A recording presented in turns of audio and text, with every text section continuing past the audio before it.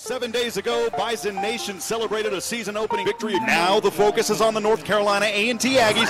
Bison Nation in the student section, ready to cheer on their team here today. Miller fake the handoff, looks to pass over center, has one. Oh, baby, here's Zach Mathis. He is for his second career touchdown. Diving in, touchdown. Oh, mama, what a play. It's intercepted by the Bison. Down to the 10, 5. That one's for you, Mom. I love you. Drilled. Boom.